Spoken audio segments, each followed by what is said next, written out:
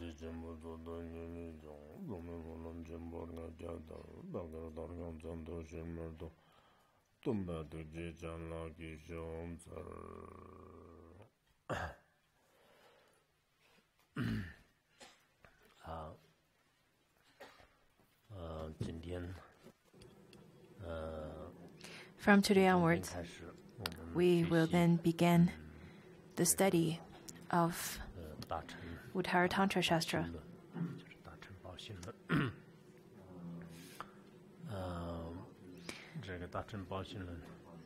This particular text, during studying of this, I think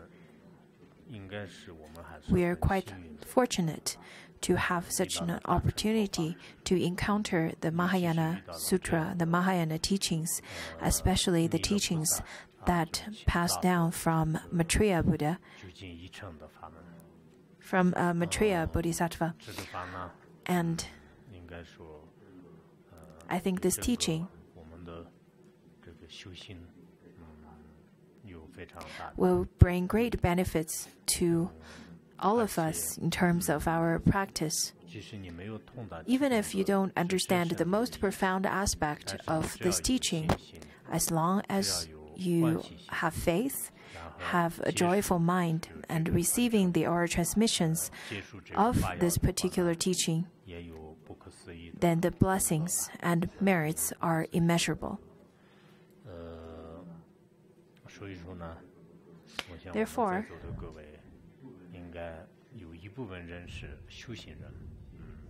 I think let it be a practitioner, maybe a, a practitioner who are looking for gaining merits through studying so that you can then eliminate lots of defilements. And another group of you who are in this audience are scholars. This particular text is a quite important text in the West as well as the East, because this is the text that talks about the Tathagarbha, the Buddha nature.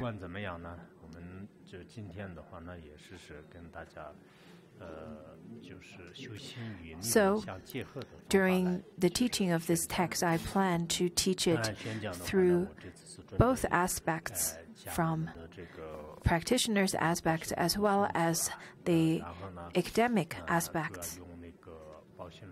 And uh, we're going to teach mainly on the uh, on the stanzas, but also we're going to use the commentary from Taranata. We are using Taranata's explanation on this Shastra to, um, to study, and I'm going to use it as an outline to teach. And mostly we'll use it as a, an, as a reference. First of all, I would like to talk about the merits of studying this Uttara Tantra Shastra, which was introduced to you earlier in the earlier classes as well. It says in the text saying that mostly people use practicing compassion, to uh, make offering with generosity, uphold precepts, and using such ways to accumulate merits. In fact, if you can listen to this teaching with respect, then the merit of which is much greater. It is stated in the chapter 5, the benefit chapter. in the stanza.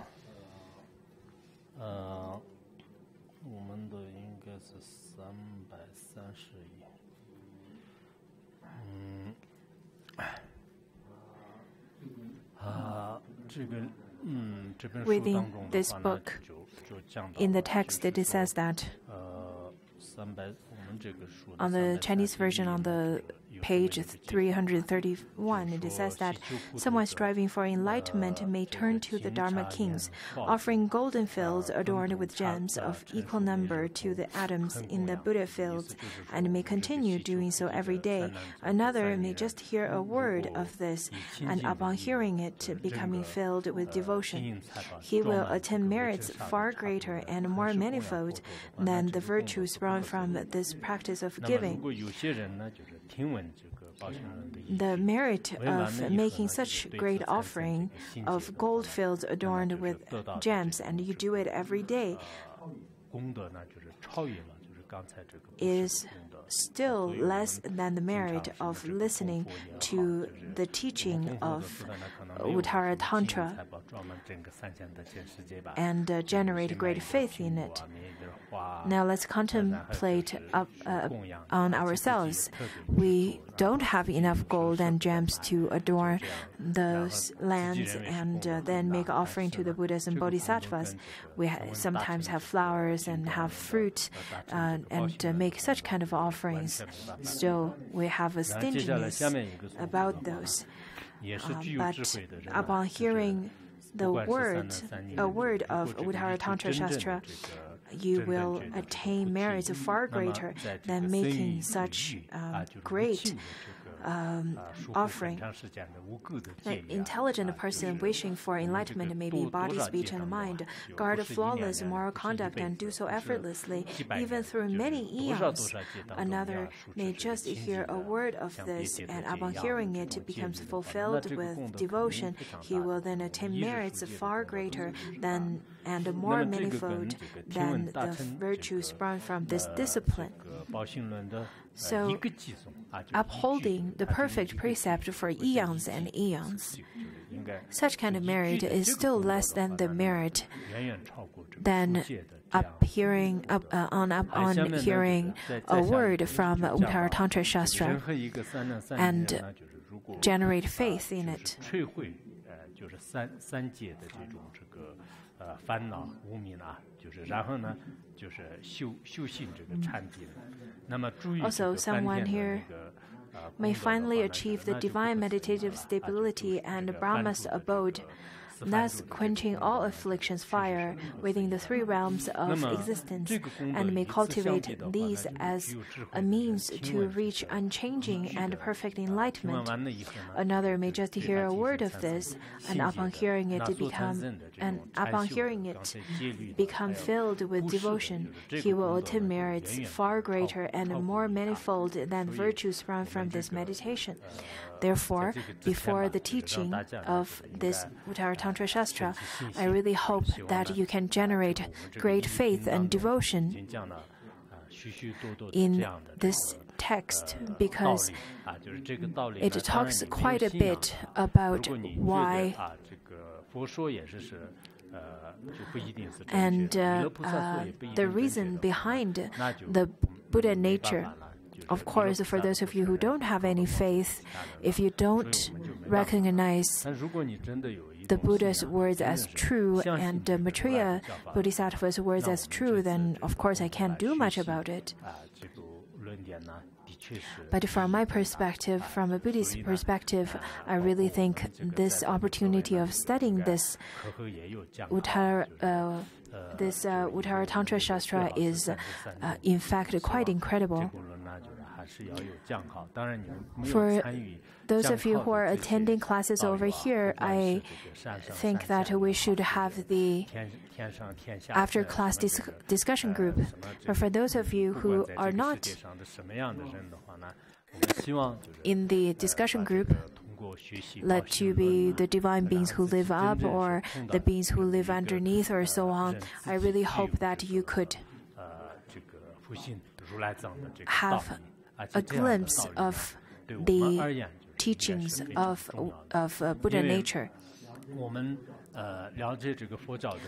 When we try to understand Buddhism, when we try to study Buddhism, I think at first we talk about the truth of suffering, truth of uh, the um, uh, the compounded, uh, the accumulation of suffering, and then the truth of cessation of suffering and the path of cessation. And then in the second turning, we talk about uh, bodhicitta and compassion. And in the third, in the also in the Prajna Paramita, we talk about how all the phenomena are empty. It is then devoid of all fabrications and all extremes. In the third turning of the Dharma wheel, the Buddha then taught how the sentient beings has has luminous luminosity. And the seed of such luminosity is there.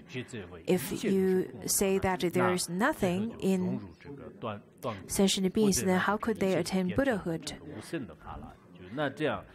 So it is not just the extreme of nihilistic view of uh, the emptiness. In the Prajna Paramita, we talk about how form is emptiness and emptiness is form. The form is emptiness that is taught in the second turning of the Dharma wheel. And in the sec- in the third turning of the Dharma wheel, we talk about the emptiness is form, because emptiness that we are talking about is not just nihilistic emptiness or voidness. This kind of teaching is included in the uh, in the tantras. In the in the tantras, we talk about the form is no other than emptiness, and emptiness is no other than form. And then at the there's a story where it talks about how at the beginning we see mountains as mountains and waters as water, and in the middle you see that mountains are no longer mountains and water is no longer water. But at the end you see mountains as mountains and water as water again. And so it has quite profound meanings in it. Some Buddhists, when they're studying emptiness, uh, the text on emptiness, such as the 400 stanzas on emptiness uh, of Madhyamika and so on. They will then understand how emptiness works. But today we're going to talk about from the other aspect about how the Buddha nature is no increasing or no decreasing. There is no birth and no death of such Buddha nature. So everything in within this uh, nature is uh, uh, devoid of all kinds of uh, grasping. So in this study of this particular teaching, I really hope that all of you could give rise to a greater devotion. Of course, there are people who would wonder why why could uh, people get enlightened if we don't have the Buddha nature, then how can we attain Buddhahood? If if there is no cause and no condition for Buddhahood to arise, and how how could that be possible? That is flawed. Uh, it uh, wouldn't go through any inferences. It has many faults that could attach to to such statement. Therefore, today we're I'm going to then share this Uttara Tantra Shastra with all of you. As I just stated earlier, during the teaching of this time, I think we should uh, refer back to the Taranata's explanation on this Uttara Tantra. I think this text, in fact, brings has lots of uh, special connections to all of us. Back in around 15 years back, Phuntsok Rinpoche passed uh, into parinirvana after only teaching for nine years. At that time, I was uh, also uh, also doing simultaneous translation for him at that time.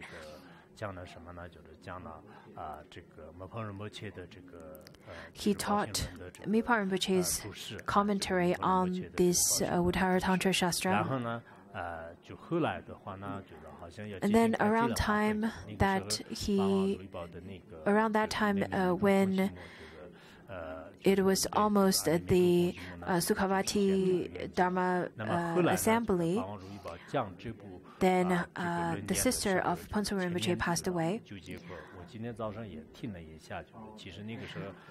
And then, after nine classes of teaching this particular Shastra, Phuntsok Rinpoche then passed away as well. At first, he gave lots of teachings from Mipham Rinpoche. Mostly, he followed the uh, explanation and Shastra's teaching. He basically followed the teaching and without much of uh, uh, much of uh, uh, uh his own explanation. So I listened to part of the recording from then this morning. And uh, I will point out where he stopped in this lifetime when we get there as well. 告一段落，就是这么一个缘起。那么这样的话呢，我本人的话呢，以前也是分享讲，但是呢，因为中国的这个 particular shastra. But I didn't have such an, an opportunity to do so until to, until this year. I've then translated this as well as the, the Taranata's uh, explanation into Chinese. There are many explain, uh, there are many uh, commentaries on this particular sh- uh, shastra, Phuntsok Rinpoche and many masters attach great importance onto this Shastra. Of course, there are many other different translations and editions that's available, including in the Tibetan text. Tibetan version, uh, the Gyaltsab, he wrote a commentary. As well as uh, Guru Tawa, who was the uh, the author of uh, the Blue Annal, also made a commentary on this particular shastra. The, his uh, commentary is a rather extensive commentary that has two big volumes. There's a short commentary also 呃，包新伦的注释呢？in front of uh, Khenpo uh, Noro around 1985. That was the first time I listened to this Shastra. Uh, around that summer, Phuntsok Rinpoche took a few people to, uh, to Nyarong, and then in, the, in Larung Gar, we had a few classes, only about 40 to 50 people. Around that time, Khenpo uh, Gardo was teaching the uh, Bodhicharya Avatara and uh, Kamponoro was teaching us uh, the Uttara Tantra Shastra. I was really happy because that was the time.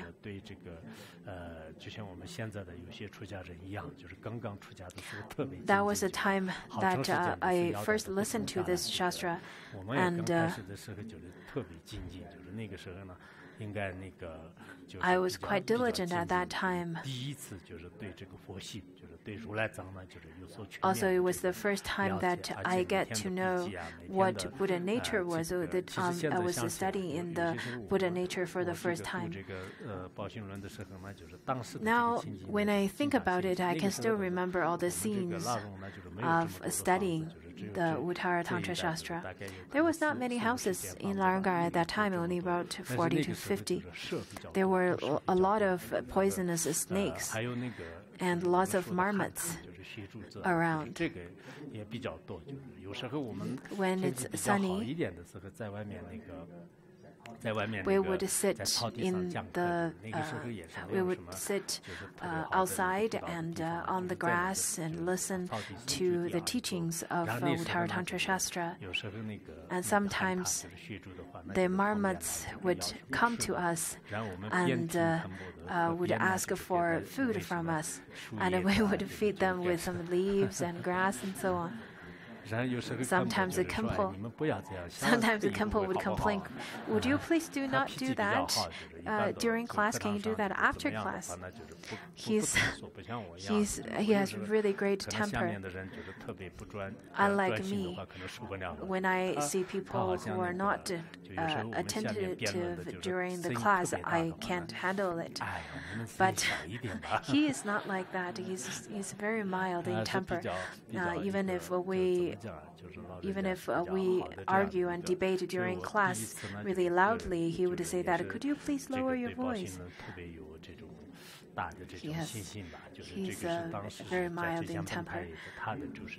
so that was the, the one that I studied during uh, the year 1985. There are many other texts and commentaries from different schools and different uh, from different masters as well lots of reference as well. But why I chose Taranata's commentary as a reference this time? It is because, first of all, Phuntsok Rinpoche, when he was alive, he attached great importance of this particular commentary. When I translated, there were when I uh, translated Many texts are translated from different schools, Gelugpa, Kagyupa, Nyingmapa, uh, Sakyapa, but not very much from the Jonang school. But since I had the aspiration of translating all different schools of commentaries and teachings, therefore I chose this one. Also, the Jonang school nowadays is not as well spread on this uh, Tibetan plateau, but when it just started, it was very popular, it was uh, uh, quite prosperous back then. In fact, the teaching of Jonangpa teach much about the uh, from the aspect of other emptiness or teach from the Buddha nature aspect, from the uh, Sutrayana aspect, and from Tantrayana aspect, they uh, they teach lots of pith instructions from the Kala chakras. Uh, the Kala chakras teaching and the six uh, six kinds of preliminary practices. On top of that, this Master Taranata, he started practicing uh, around 17 years uh, old, uh, 17 years of age, and uh, he seemed to have great ability to communicate with different bodhisattvas, just like human beings to human beings. He also taught at Sakya school. At that time, during the time he was teaching at Sakya school, 所以呃，就当地有些比较厉害的这些大师的话，那经常像王准。At that time, the Sakya school did not allow them to teach anything but the Sakya school teaching. But since Taranata then went overboard and started teaching others, he was expelled from that school. Lots of great masters from Tibet, they all been expelled, such as Longchenpa and so on. 在我们学院也是讲过就是有许许多多的就是特别有意义的东西然后再过了一百年左右的时候就是 我们经常说的那个印度 After 佛教史 100的 years 作者，也就是说这个达拉纳他，就是他这个出世啊，就是他是好像第五世达赖喇 Taranatha 嘛的舅舅啊 then 还 was 是什么的 born. He was the 然后 uncle 也是是跟这个 of, 国王尊者 uh, 呢， the 就是也有 fifth 这个 Dalai Lama. 呃，就转世的这样的一个一这个因缘 He 吧，就是他的这 also 个 was 传记 considered 啊 as 这 a 些当中把 reincarnation 我 of 以 uh, 前 Longchenpa. 讲呃专辑里面的有些内容以前 I 也是 think 讲 it 过 was 所以说 included in the 当 uh, 时 bi- 就确 autobiog- 实 uh, in the 呃这种 biography. During that period of time, the teaching of Jonangpa was rather quite uh, prosperous. Possible Rinpoche then later why Jonangpa was not included in the four great schools of Tibetan Buddhism? The Sutrayana teachings taught also had all had their own system of studying the five uh, the five great treatises, but uh, in Jonangpa they don't really have such a complete system of studying the five great treatises the, their most emphasis was on the Buddhist logics. Uh, so it may be of that reason it is not that popular at this time, but it is quite important to uh, then again revive the teachings of Jonangpa.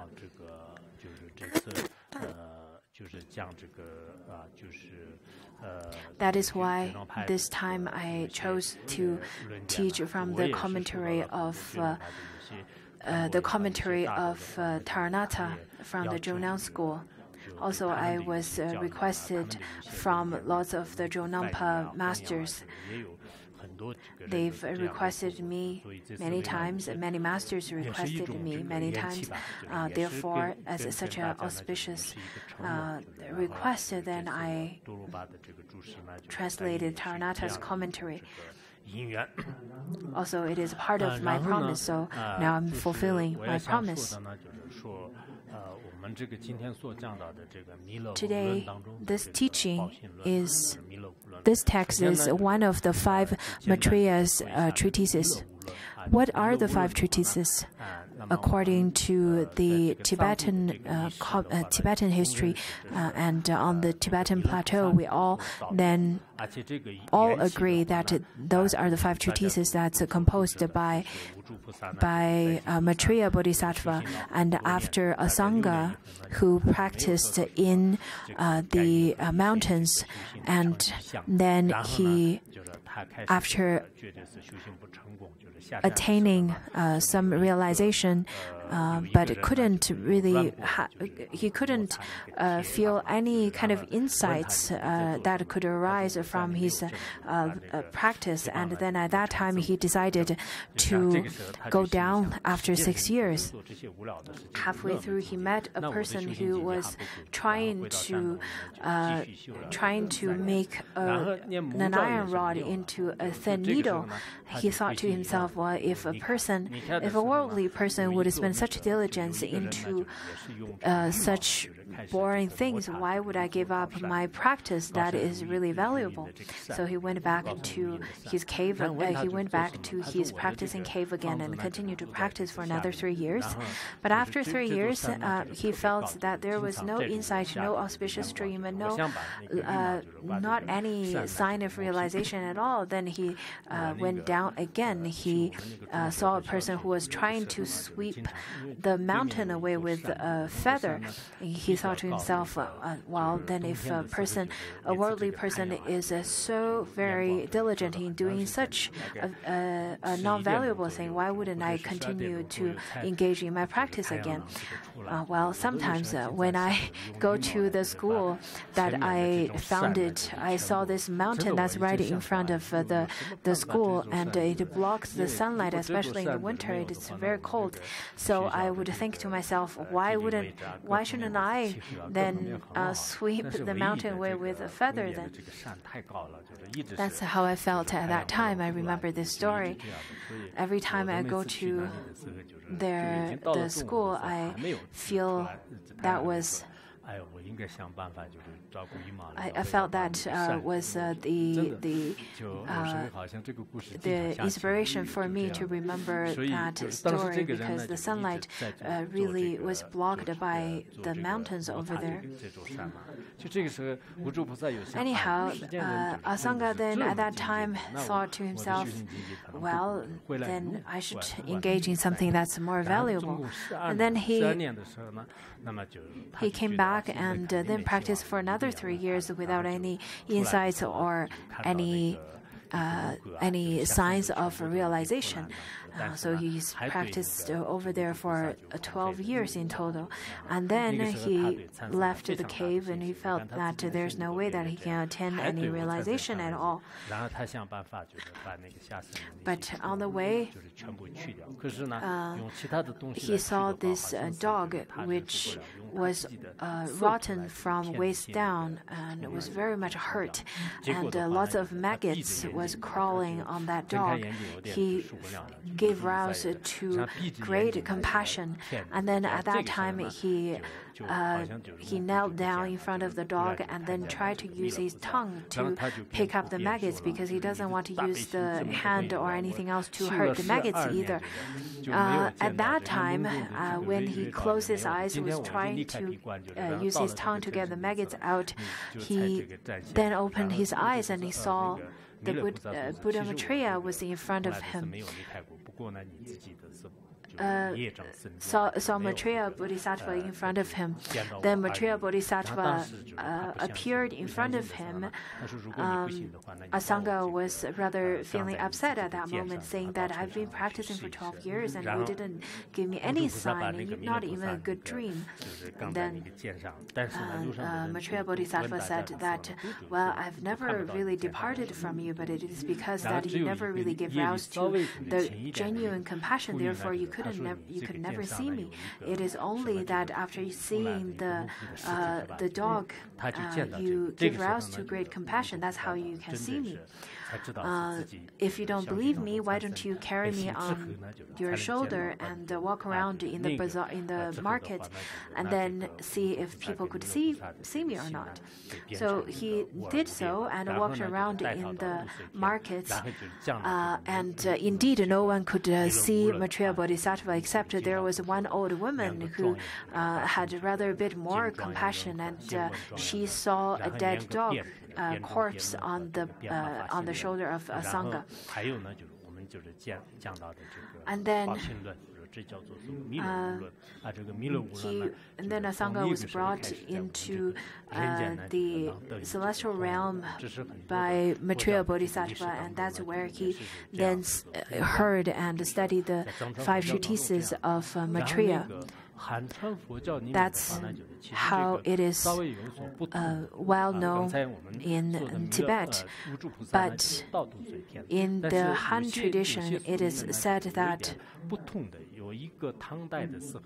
According to uh, Dunlun from Tang Dynasty, he then uh, wrote a commentary on the Yoga, Yogacharya uh, Shastra.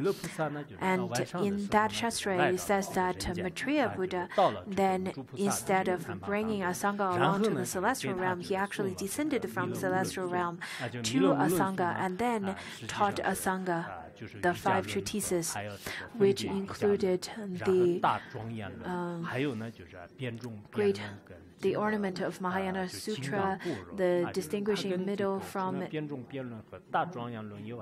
uh, from extremes and uh, uh, distinguishing the yoga Ch- uh, Yogacara Shastra and uh, uh, Vajra Prajna Paramita Shastra and uh, the um, as well as the distinguishing Dharma and Dharmata.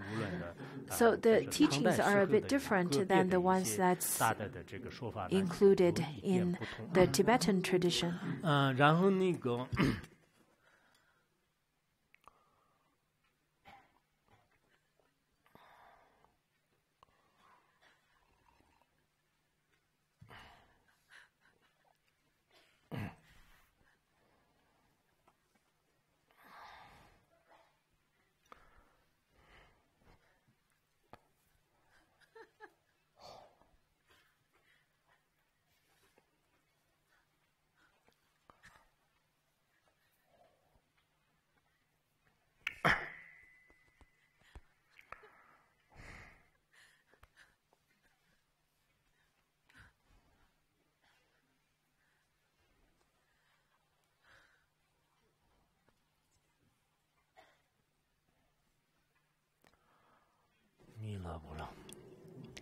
five treatises of the five treatises of uh, uh, Maitreya.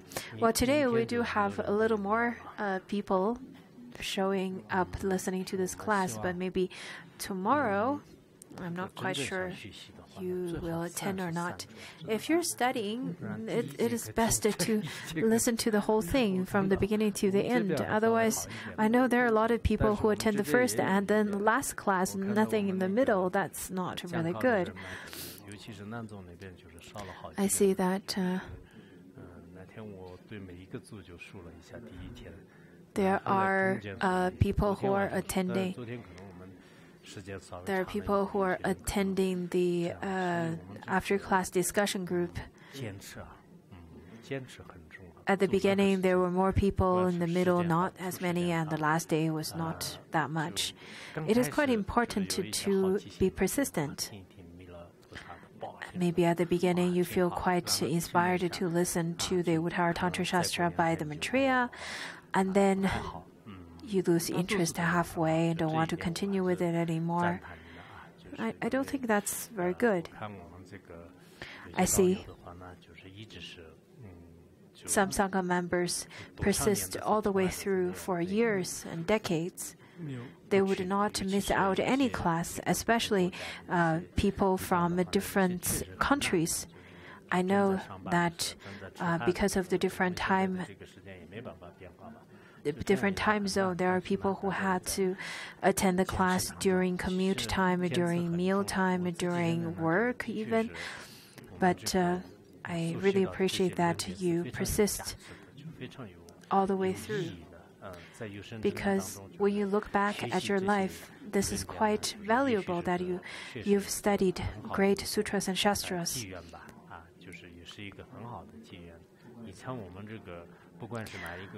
whichever Khenpo or Khenmo give teaching to uh, the class. I know there are people who have great joy to listen to the Dharma. And I think you know if you really listened and persisted all the way through the classes, you will gain great benefits. Of course, I'm not selling this class like a merchant who is selling a fortified product because a fortified product would appear to be genuine and good at first, but there's no value to it. But this is this kind of teaching is not like that at all. After listening to such teachings, you will gain great benefits at the beginning, the middle, and at the end. Uh, today, for those of you uh, who are attending this class, and especially after listening to the merits of uh, the the, uh, and especially for those of you whomsoever wanting to gain merits through listening to such great teaching, you might be quite uh, disappointed because today we're not going to give any teaching about those. Uh, about those verses at all. Around, well, I'm going to talk a little bit about the history. So, it, is, it was translated into Chinese back in the 6th century. The person who translated this from the Sanskrit version to Chinese version, his name is uh, Ratnamati. But during his translation, he did not remark who was the author of this Uttara Tantra Shastra. I think around maybe 90s, during the 90s, I uh, bought the text, the Chinese text of uh, this translation. But um, when I compared it with the Tibetan version, I found that it was it has lots of differences. 应该汉地有有这个如来藏的这个思想啊，就是比较早的。So the mainland received the teaching of the Buddha nature in a rather rather early period of time. Then in the seventh century, one of the patriarch, patriarchs of the Tiantai school, uh, Master Fa Zang, he then translated this. 论论的这个讲述当中呢，就是说是 he, he then taught on the uh, Uttara Tantra Shastra. And uh, in that teaching, he said that it was then written by Master Jian Hui. And because of that, 的话，那就是包括就是现在那个呃，就日本的这个大藏经当中的话呢，就是也是是这个 Included 包心 in 论 the 呢 Japanese 啊这个包心论呢 Tripitaka, 就是是这个当时的 the 这个见慧论所塑造 author's name 有 is 这样的 written 这个说 as 法 uh, 一直 Master 呢 Jianhui. 啊保留着就是包括这个现在有一些学者啊 Or, 啊不管是 um, 大陆的学者也好，台湾的学者也好，日本也好，还有呢就是啊、包括可能这个 I 韩 think 国也是这样 that 就是韩 view 国的话 is 呢 rather 实际上 popular. 他们的这个宝性论呢，就是已经翻译成这个韩国就是。In the Korean uh, version of uh, Tripitaka, it also is uh, translated, is also uh, included in the Korean version of Tripitaka, maybe translated in the 60s, in the 1960s. In fact, Uttara Tantra Shastra 实际上是是呃，就是这个监会论是啊，就是他所造的啊，就是有这样的这种呃思想，就是因为这个应该是 uh, 刚才 was 讲的就是法 considered 藏论 as 思 uh, 呢， the 它大概 product, 是 a written 70 product, 年 or 70 uh, 年 that 那 is 个时候 composed by 呃 Master 出 Jianhui. 现的就是，那么这样的话呢，就是一直就是保留着这种这个思想。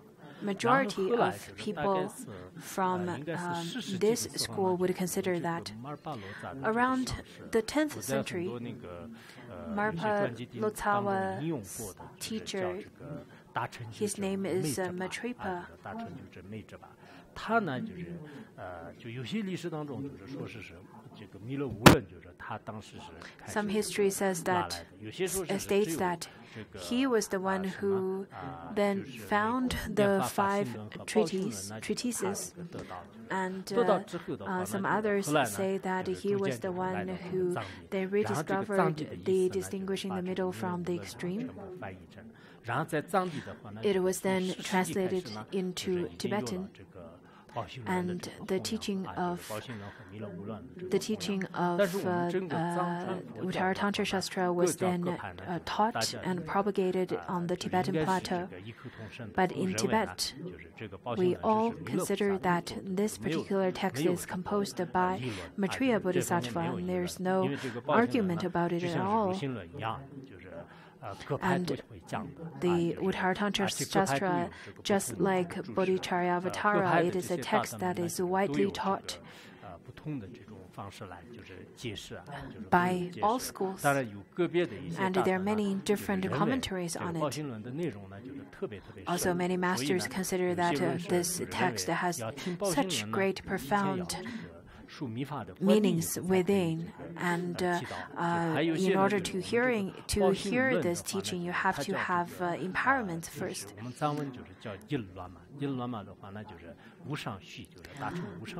The title of it is Uttara Tantra, which means the Tantra that is unsurpassable. So it is not just a so it is not just any kind of normal or uh, or ordinary teaching, rather it is a tantra. And this is taught by Maitreya Bodhisattva, the four of his five treatises are considered as uh, 传佛教这边的话呢，就是也有这这这样的说 Sutrayana 法 teachings, and uh, this 那 one 么 is considered as a Vajrayana teaching. 那么我们这个呃，那到底是呃，这个是到底是这个 So, 弥勒菩萨做的，就是还是这 Maitreya 个 Buddha, 安 uh, 徽人 Maitreya 是做的 Bodhisattva, 呢这 or 个方面 then 呃，还 the 是在这个 Master 学术界啊 Jianhui's 学术 translation. 界呢 In 呃 fact, there 有 are 这个 quite a 分 bit 歧 of 的啊 controversial 有有 about 不 it.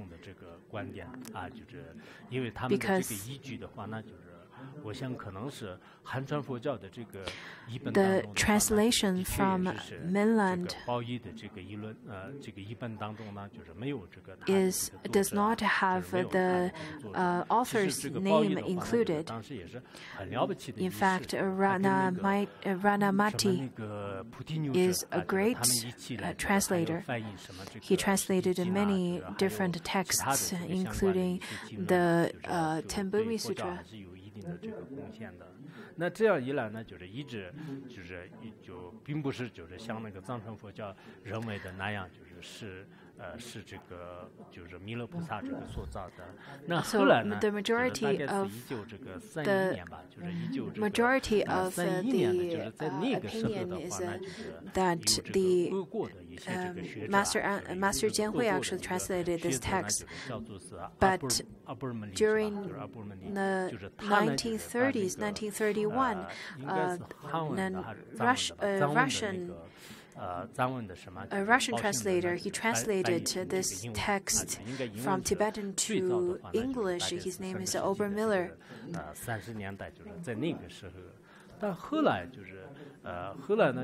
Around 1935,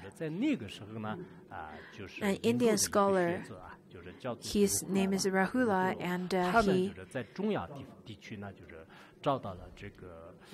discovered the Sanskrit version of Uttaratantra, Uttaratantra Shastra.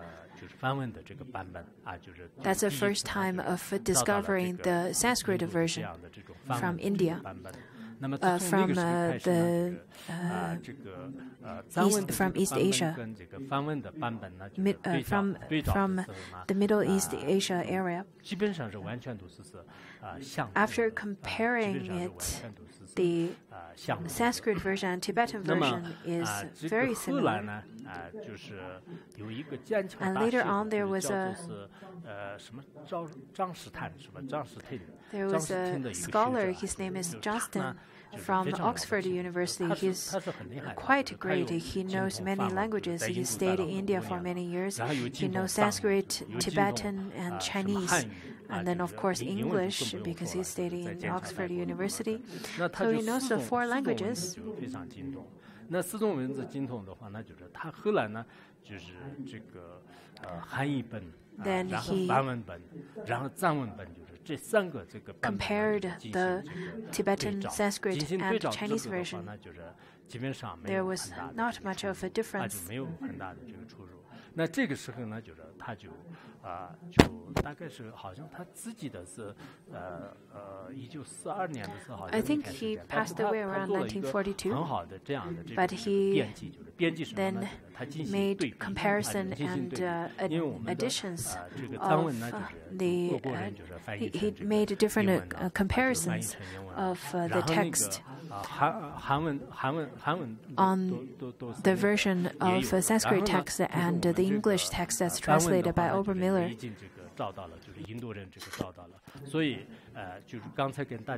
So the book that was just showing on the screen, that was the first text that's published in English and with a comparison with Sanskrit.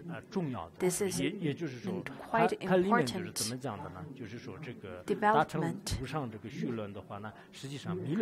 And on the title it says that it is the Uttara Tantra Shastra by Maitreya. Similarly, it is stated in Sanskrit version. And the Tibetan version and Sanskrit version are very much uh, fitting with, the, with each other. There was not much of a difference. And ever since then, many scholars from the West they all consider that the Uttara Tantra Shastra as a text that's composed by Maitreya Bodhisattva. Maybe before that there was still controversies, but for the West, ever since the publishing of this book, that is uh, published back in 1950, and then the West started to. Uh, the West started to then research and study uh, Buddha nature, the philosophy of Buddha nature in, on Tibetan plateau, we talk about Buddha nature very much. And around the 6th century, the mainland started talking about talking about Buddha nature uh, in Tibet. It's from 10th century, and uh, from and in the West it is from the 20th century, rather, uh, maybe beginning from the end of 19th century and the early of 20th century. That's the beginning of the beginning of uh, uh studying uh, Buddha nature, thinking of Buddha nature. In the mainland,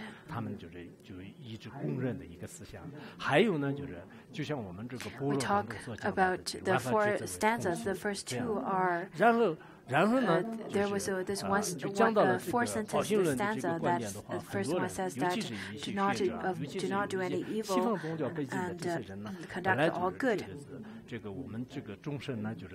and then talk about the Prajnaparamita.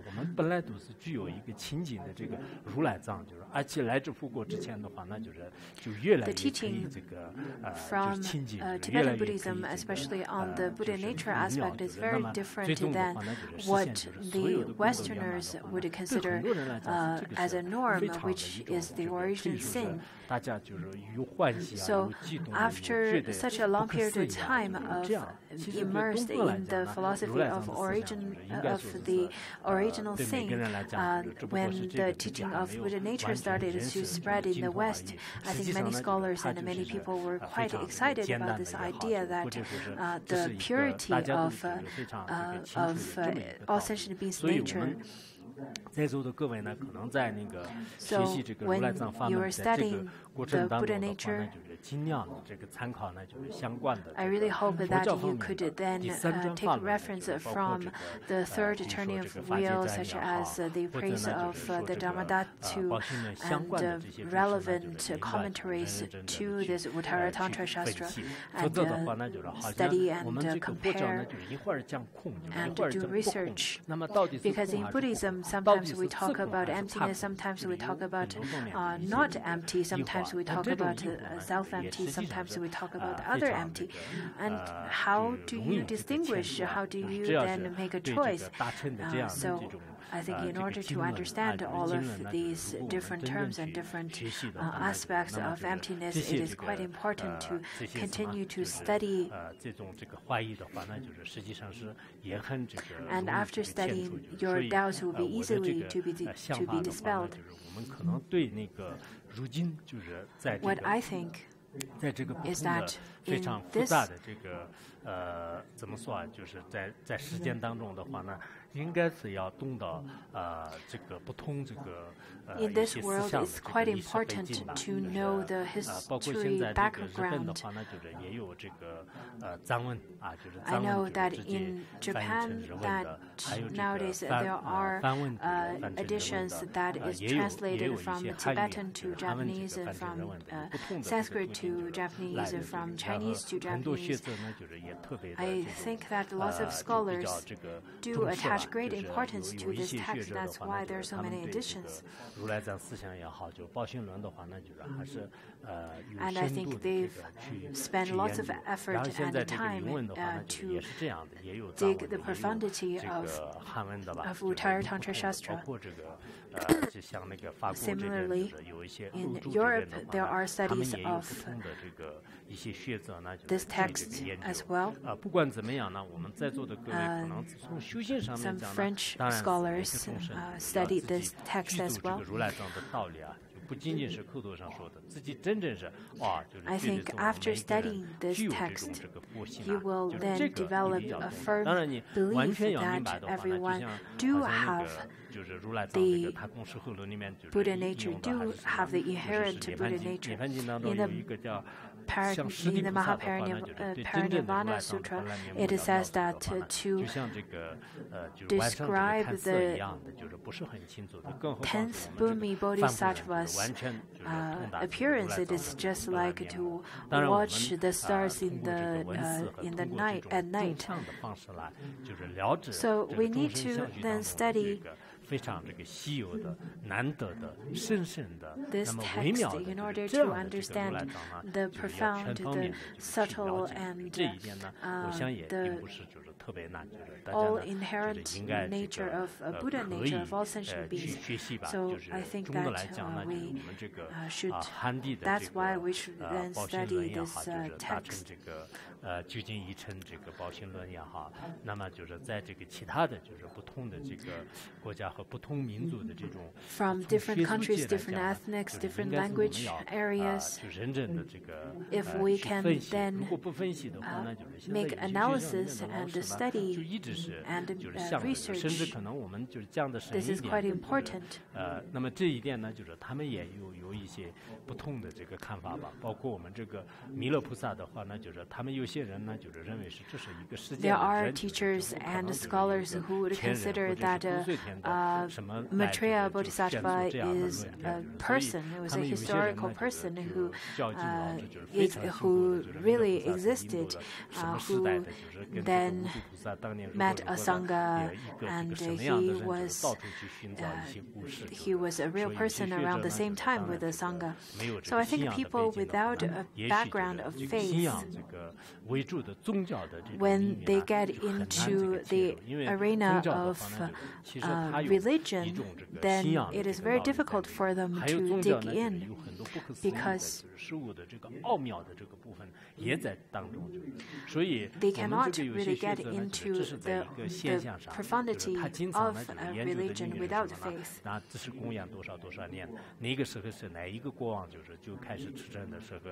那么那个时候 nowadays they would only see materialistic appearances as a materialistic for example, some historical event during Totalitarian and uh, so on。俄国的学者也好，就是日本的学者也好，还有印度的。Indian scholars, the, the British scholars, they, they're really great.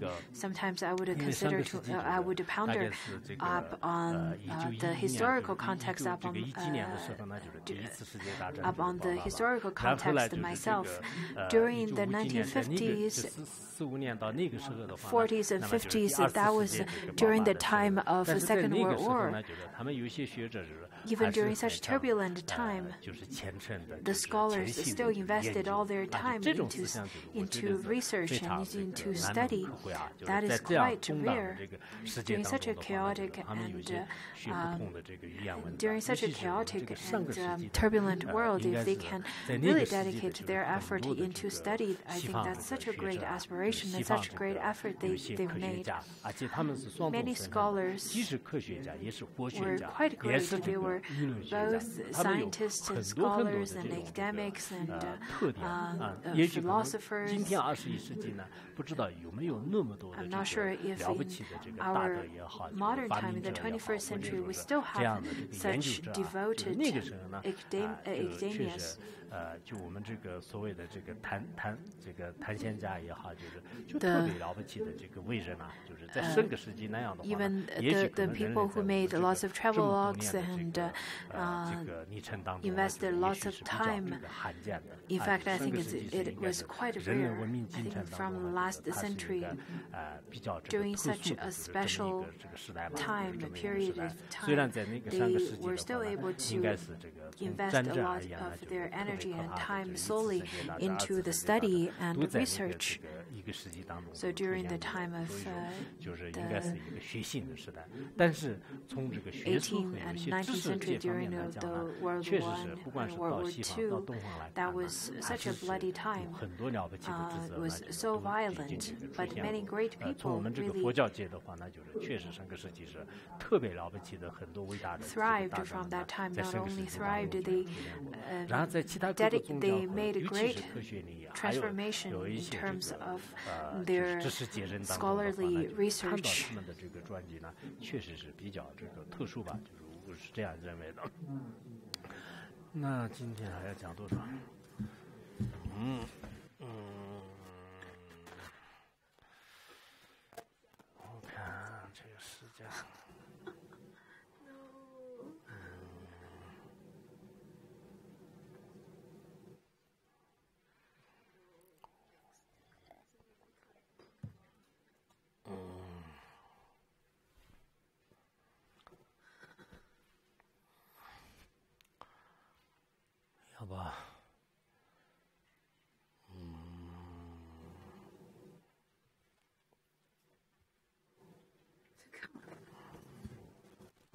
Maitreya Bodhisattva. Uh, okay, so we'll stop here today.